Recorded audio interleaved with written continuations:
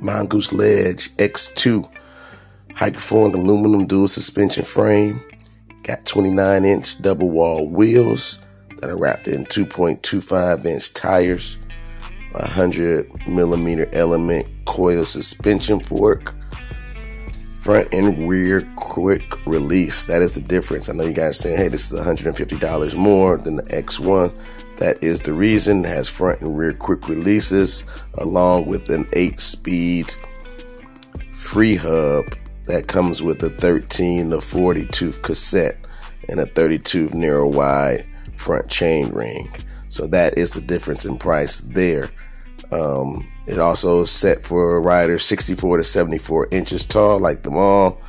Internal cable routing with a dropper post um, routing set for you and a removable derailleur hanger. Check it out.